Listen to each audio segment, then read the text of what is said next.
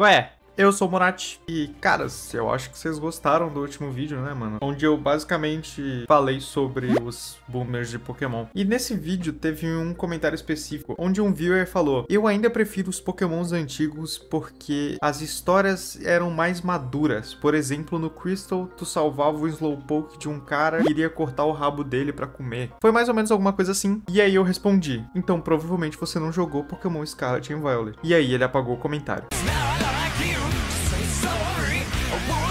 Basicamente, Pokémon Scarlet and Violet tem uma das histórias mais maduras que eu já vi na história de Pokémon, velho. Então, vem comigo ver uma história madura. Hã?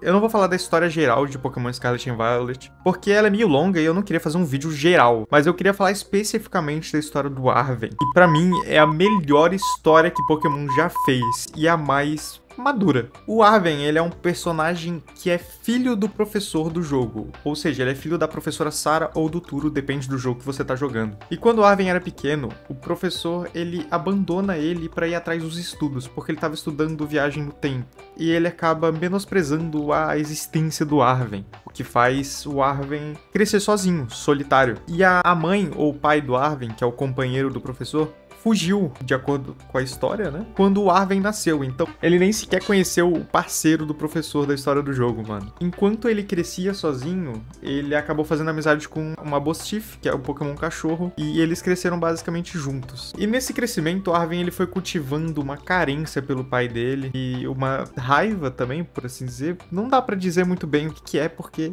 né? Pokémon. O personagem ele só faz careta na hora de falar. Mas de acordo com o próprio Arven, ele foi atrás do pai dele na área zero, que é aquele buracão no meio do mapa. E lá é um lugar que, para quem jogou o jogo, sabe que tem muitos pokémons fortes. Então, na hora que ele tentou entrar naquele lugar, o Mabostiff dele acabou se machucando. E quando ele saiu de lá, ele tentou curar num Pokécentro, usar poção, etc, etc, e nada curava ele. Então, acabou que o Arven, ele começou a pesquisar muito sobre o que poderia ter afetado o Pokémonzinho dele. E nas pesquisas do Arven, ele acaba achando o livrinho Scarlet and Violet, que é, faz parte da história do jogo, lá na Torre do Farol, e ele descobre lendo aquele livrinho sobre a existência das ervas místicas, que são ervas que têm um poder curativo, poder etc, etc, etc. E no começo do jogo, o Arven, ele deixa para você o Pokémon lendário, né? Que é o Kuraidon ou Miraidon. E ele também tá machucado, por causa daquela cutscene introdutória lá, onde ele cai na praia, etc, etc. Então ele pede tua ajuda para vocês dois irem atrás das ervas místicas para você curar o Kuraidon e o Miraidon e ele curar o cachorro dele só que a princípio ele nem te conta, porque o Arven, ele é um personagem mais sozinho, mais solitário, então ele tende a se sentir, sei lá, envergonhado de contar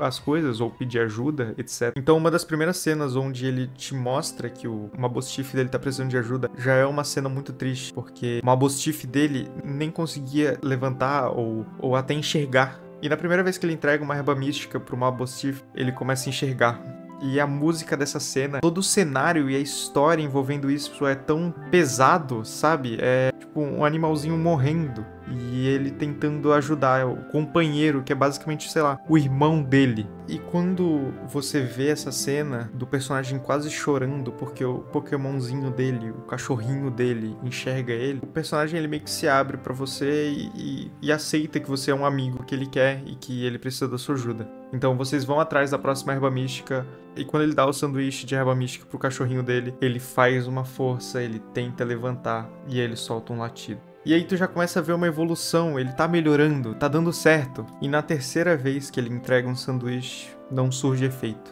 Mas o personagem, ele tá ali. Ele tá forte, ele, ele tá querendo ir atrás das próximas ervas. Ele não quer desistir. E da última vez que ele entrega um sanduíche de erva mística pro cachorrinho dele, ele não esboça a reação de novo. E é aí que o Arven, ele ele perde as esperanças dele. Ele vai até o cachorrinho dele e fala: Você deu o seu melhor e levanta. E essa cena me pega tanto. Quem já perdeu um bichinho, um animalzinho, sabe a sensação que é ver um bichinho doente na sua frente e não poder fazer nada. Isso aqui para mim foi uma flechada no coração, tá ligado? Isso acaba comigo, velho. Acaba comigo uma cena dessa. Só que aí dá tudo certo, né? o Mabostiff, ele levanta E o Arvin, ele tem um momento de felicidade na vida dele, que é conseguir recuperar as forças do Mabostiff. E, bom, cara, se até tu não acha que isso é uma puta de uma história madura, você tá errado. Foi mal, foi mal. Mas depois de zerar o game e ajudar o Arven, etc, etc, etc, o protagonista e os outros personagens fazem uma descida à área zero, que é onde o Arven e o Mabostiff se machucaram da primeira vez. E descendo na área zero, a gente vai recebendo ligações do professor. E, bom, a gente não conhece ele, então pra gente é normal essa ligação, a maneira que ele fala com a gente, mas aí o, o Arven ele já percebe que, bom, alguma coisa de errado aconteceu com o pai dele. E aí quando vocês vão descendo a área zero, vão encontrando os pokémons robô ou pré-históricos, né, depende do jogo, a gente finalmente chega no fundo da área zero, que é onde a gente vai encontrar o professor e a gente descobre que o professor na verdade morreu.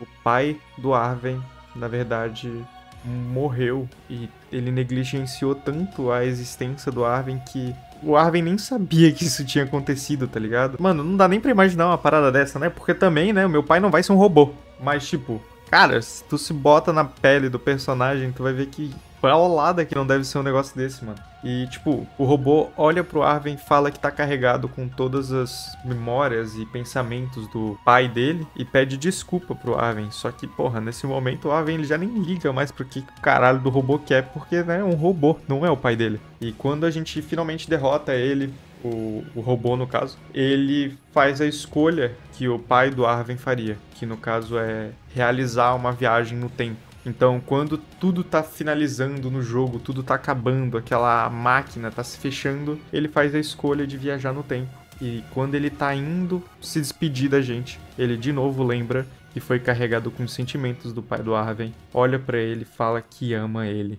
Cara, sem dá para sentir o peso disso, mano. As cenas, as cutscenes deste jogo são tão fortes. O final da história do jogo, onde todos estão caminhando de volta para casa e o Arven é o único que tá de cabisbaixa, porque todo o resto não tinha ligação emocional com isso. Mas porra, era o pai do dele, mano. E esse jogo consegue mostrar isso de uma maneira tão brilhante que, cara, rapaziada, de verdade, manos, Pokémon Scarlet e Violet tem uma das histórias mais ricas de todos os Pokémons, velho. E se você olhar para mim e falar que a caralha de uma raba de Slowpoke é mais madura que isso, eu não vou fazer nada. Falou, rapaziada, se inscreve!